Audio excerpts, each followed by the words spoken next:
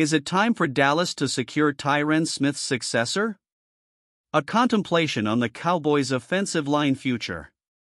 In the upcoming offseason, the Dallas Cowboys face critical decisions regarding their future, particularly concerning Tyron Smith, a stalwart figure on the offensive line.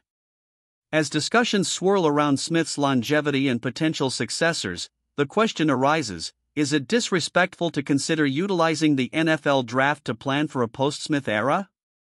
Undoubtedly, the Cowboys have pressing needs, including addressing linebacker concerns.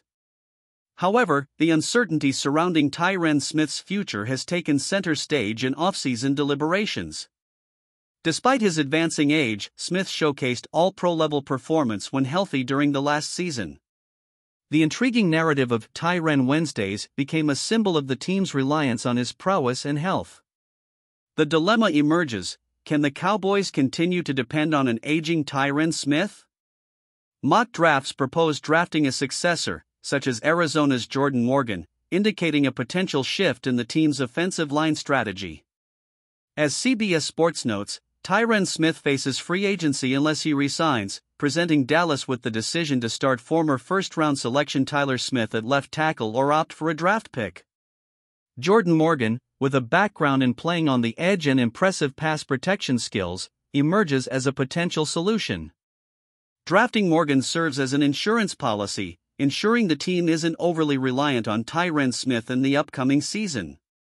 While drafting a successor might be seen as a preemptive move akin to teams selecting quarterbacks before the need arises, it shouldn't be perceived as disrespectful. Tyron Smith, at 33, stands at a crossroads where decisions about re signing any player become challenging.